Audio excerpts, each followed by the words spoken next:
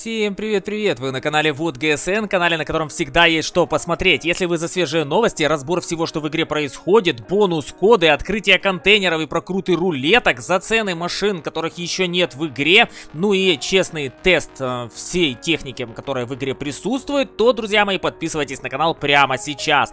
Ну что, я рад всех приветствовать в новой версии игры 10.7. Да, обнова состоялась, если вы еще не обновились, то заходите, обновляйтесь и давайте красить кратенько обсудим, что конкретно изменилось, потому что ждали очень много всего, ну а о некоторых вещах, возможно, даже кто-то и не знал. Начнем с того, что изменили балансировщик, и если внимательно прочитать это сообщение, то из него можно понять, что теперь на балансировку влияет уровень вашей статы. И наконец-то, наконец-то статисты, скорее всего, будут играть с другими статистами, а обычные игроки будут попадать в бои к обычным игрокам. И постоянного, извиняюсь, срача в комментариях после боев не будет в отношении того, что кто-то как-то неправильно неправильно играл и кому-то стату подпортил. Что касается балансных правок, то здесь, ребят, все очень классно, все хорошо, но здесь есть, ребят, еще и новость по поводу того, что, да, все-таки переводится. Переводится из разряда премиумных машин в разряд коллекционных ряд танка, а в частности 8 машин. Уничтожитель ФЦМ 50 тонн, АМХ 31 прототип, К-91, 121Б, М60, Чифтейн МК-6 и Каумфпанзер 70. Теперь, ребят, если вы обладатель этих машин, вы становитесь также обладателем возможности продать данные машины за голду, а не за серебро, как было ранее. И вот, пожалуйста, на примере М60, который присутствует у меня в ангаре, могу вам показать 7,5 тысяч золота за десятки, ну а, соответственно, за девятки стандартизированный ценник в 9, э, да если бы, за девятки в размере 5000 на примере МК-91.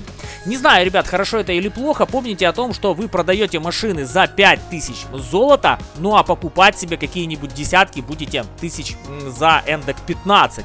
Поэтому помните о существенной разнице в ценниках. Ну и, соответственно, не надо бездумно продавать машины для того, чтобы, допустим, крутить рулетки. Мне кажется, что дело это все неблагодарное. Но, как вы видите, на примере моего аккаунта, да и на пресс-аккаунте я проверил, коллекционных машин а, у нас э, прибавилось, а премиумных тачек, как вы видите, у нас теперь ни на девятом, ни на десятом уровне нет. Также стоит отметить, что теперь разработчики могут очень даже легко данные машины балансировать в любую сторону. Как их э, поднимать по их э, ТТХ, так, в принципе, и нерфить. Поэтому, знаете, бабка надвое гадала, хорошо это все-таки или плохо. Что еще в новости? Ну, я думаю, что со всей новостью вы можете ознакомиться самостоятельно. Какие-то машины э, были переведены в лучшее визуальное качество. Э, Где-то как-то что-то изменилось в некоторых тачках в отношении балансных правок. Добавлено, допустим, там снаряжение, улучшенный форсаж для ветки э, КВ-3, КВ-4, СТ-1. Короче говоря, то, что у нас идет к ИСу 4. Ну и что касается самого ИСа 4, то его тоже зацепили. Время перезарядки орудия ему уменьшили с 10 а, с копейками до неполных 10. Я не знаю прям, на что это прям сильно как-то повлияет. Вроде бы говорили, что у него ДПМ таким образом станет лучше. Ну да, окей, чисто на калькуляторе лучше он станет. Но мне кажется, что по большому счету это вообще ни на что не повлияет в отношении играбельности ИСа 4 по состоянию на сегодняшний день. А, ротация камуфляжей, ну такое, ротация да и ротация, даже не собираюсь в этом как-то подробно влазить, потому что ротация каму меня интересует меньше всего. Меня интересует знаете что? Меня интересует то, насколько сильно балансировщик действительно стал круче и интересней. Сейчас попытаюсь объяснить на примере своего аккаунта. И да, сейчас полетят помидоры в меня по поводу моей статистики, но хочу вам показать следующее. Стата на этом аккаунте у меня составляет 46%. Это основной мой аккаунт, и кто-то начнет писать в комментариях по поводу того, что я рачина, которая играть не умеет, но по факту, ребят, скажу вам следующее. Дело в том, что в данную статистику включены бои, которые играл не я. Я, ну, абсолютно спокойно спокойно даю играть э, друзьям, которые приходят ко мне в гости, своим родным и близким, э, некоторым детям, э, которые приходят в гости со своими родителями, моими друзьями, которым и 10 лет еще нет. Ну и понятное дело, что уровень процентов по победам, выживаемости, среднего урона у меня прям совсем на уровне плинтуса. Причем происходит это уже далеко не первый год с моим аккаунтом и будет происходить дальше. Я к чему говорю? Говорю, ребят, к тому, что получается такая кухня, при которой я вроде бы очень крайне э, фиговый статист, и э, при этом всем играть я умею. Ну, потому что стата по факту не моя, моя реальная статистика где-то в районе 53%, 55%. Да, опять-таки, это не самый крутой показатель, но в любом случае это лучше, чем вообще ничего. И вот теперь у меня возникает вопрос, а действительно ли теперь на вот этих вот коллекционках я буду заходить в бои против типа себе подобных. Ну, то есть, в моем конкретном случае, возможно, мне это даже на руку пошло. Ну что, ребят, поехали, возьмем К91 уже теперь коллекционный, а не премиумный, и попытаемся заценить балансировщик.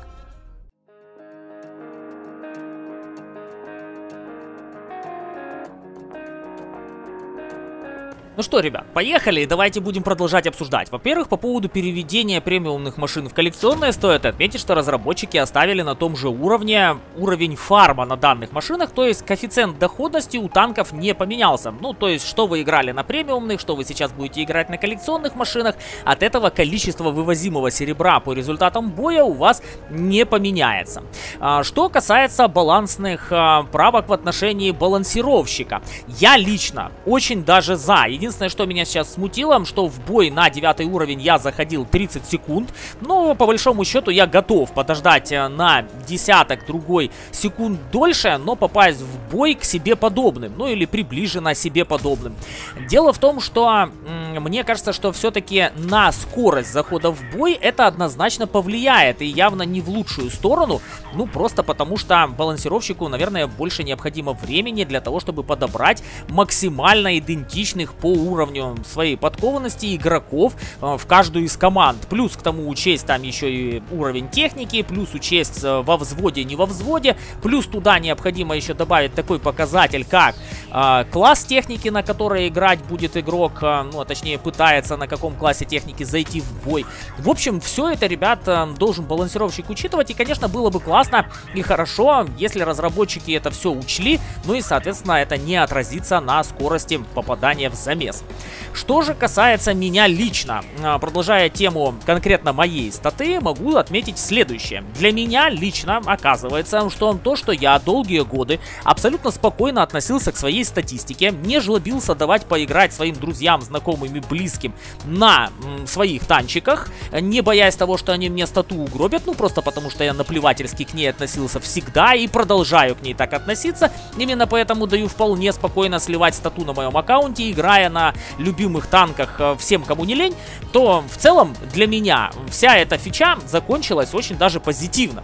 А вот теперь, мне кажется, что начнут гореть задницы у тех ребят, которые тряслись над своей статой, делали все возможное для того, чтобы ее поднимать, выпрыгивали из трусов из-за того, что они проигрывали, высказывали свое негативное мнение всем игрокам, которые играли якобы по статистике хуже, чем они, ну и, соответственно, что самое страшное, это не давали кому-нибудь потестить какой-нибудь танчик, боясь, что там что-то где-то с какими-то цифрами произойдет. Ну, также мне жалко тех ребят, которые играли исключительно в режимных боях, или в рейтингах для того, чтобы на стате не отразилось, ну и, соответственно, качали себе какие-то ветки, отказывая в удовольствии играть в обычных рандомных боях, используя для этого исключительно, опять-таки, фановые режимы, ну и, соответственно, рейтинговые бои.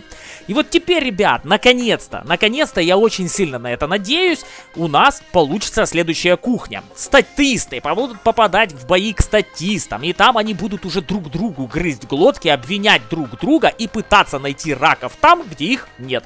Наконец-то раки будут играть без статистов и будут играть спокойно, опять-таки, не обвиняя друг друга, потому что нет статистов, которые портят бои тем, что сидят где-то в кустах и просто настреливают свой средний урон.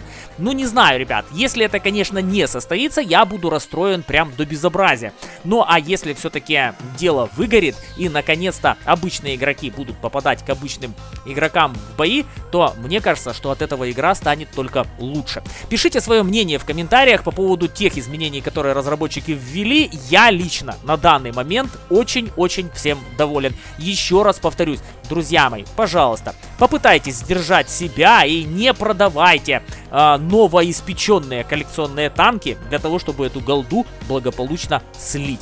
Но хотя, с другой стороны, дело ваше, мое дело предупредить, ну и, соответственно, обратить ваше внимание на, ну, скажем так, не совсем выгодность данного мероприятия, чисто исходя из калькуляционных расчетов. Я побежал снимать следующее видео специально для вас. Вы, если за честное мнение и за то, чтобы видеть правду такой, какая она есть на самом деле, прямо сейчас, вот здесь, вот в правом нижнем углу, по шильдику подписывайтесь на канал, жмите лайкос данному видео и обязательно, обязательно оставляйте свои комментарии, не забыв прожать на колокольчик, чтобы не пропустить следующие видосы. Пошел снимать специально для вас. Мира вам, друзья мои, и обязательно спокойствия. Пока-пока.